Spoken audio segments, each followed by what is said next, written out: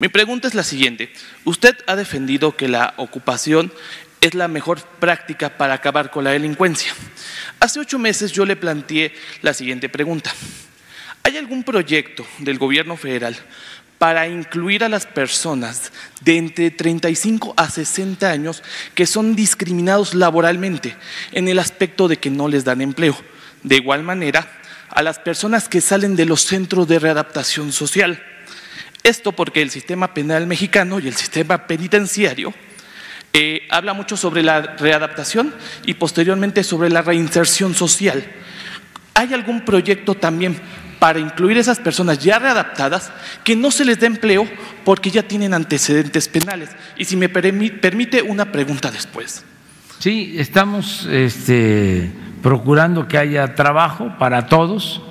Esta es una edad en que tenemos eh, pues eh, un faltante de oportunidades, mm, las personas mayores de 40 años, eh, hasta los 60, 65, ahí hay que tener una acción especial desde luego que vamos a procurar que tengan empleo, además por su experiencia, ¿sí?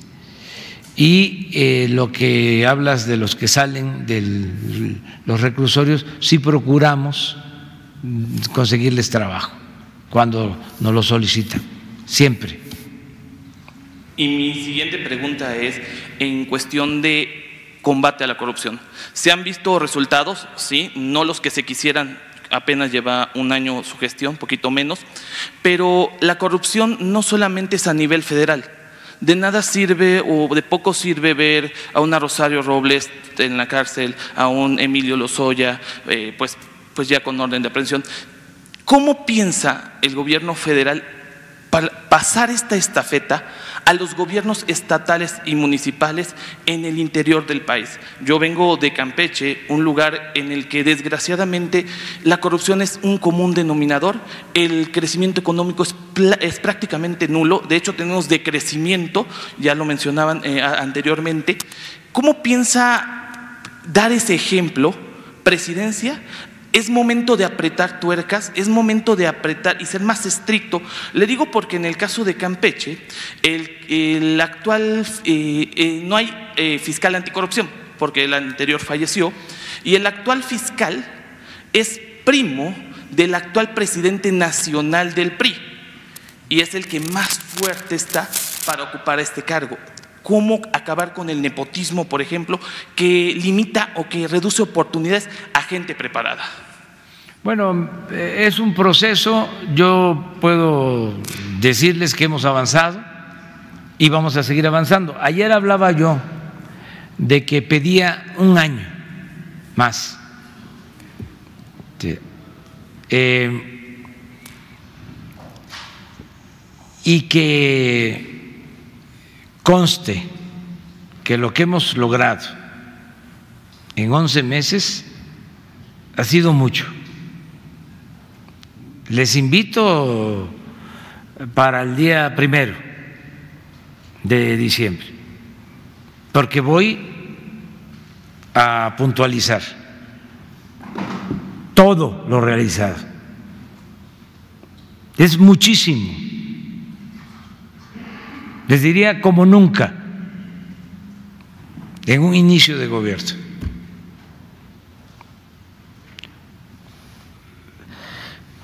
Tengo que eh, hacerlo con brevedad para no cansar, pero es muchísimo. Sin embargo, falta. Por eso digo, un año más para que queden totalmente establecidas las bases de la transformación.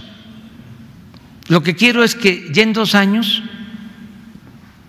no se pueda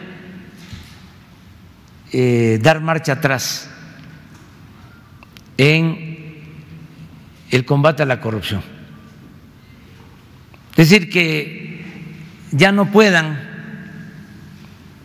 eh, cambiar las leyes para que la corrupción siga como antes, considerada como delito no grave, que ya no puedan,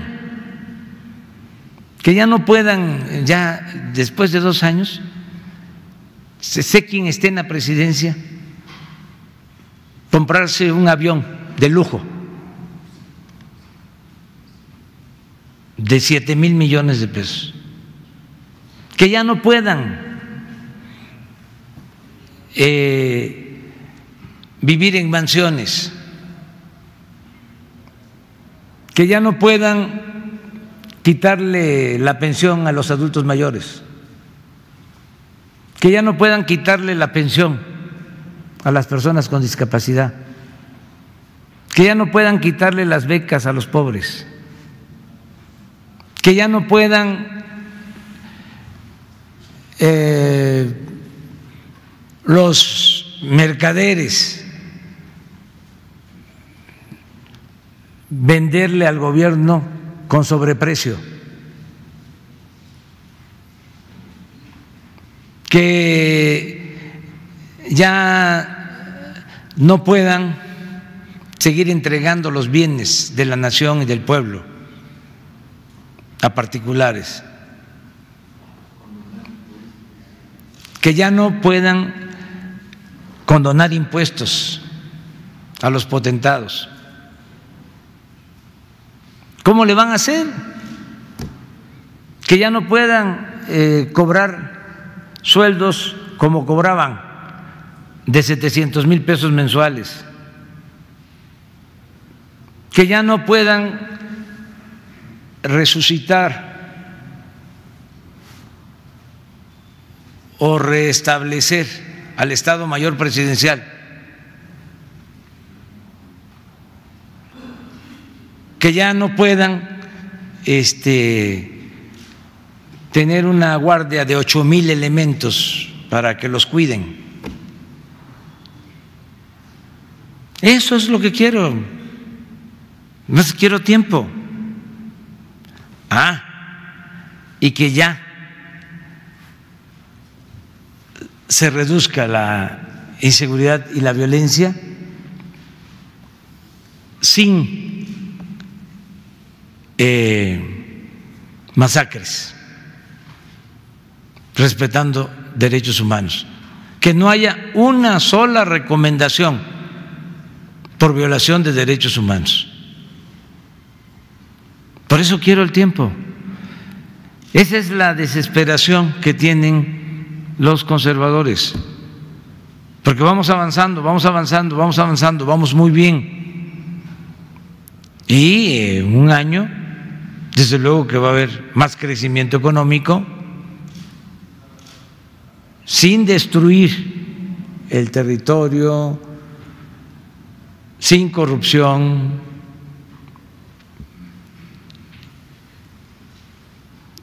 Por eso eh, estamos eh, ahora enfrentando las resistencias, pero ya en un año más va a quedar establecido. Yo estoy seguro que para entonces va a, consolidarse el proyecto. Ayer, aunque genera mucha polémica, este fue un buen día eh, cuando se dio a conocer lo de el análisis eh, acerca de la actitud de la gente. Es que eso es importante. No se puede sin el apoyo del pueblo, no se puede transformar.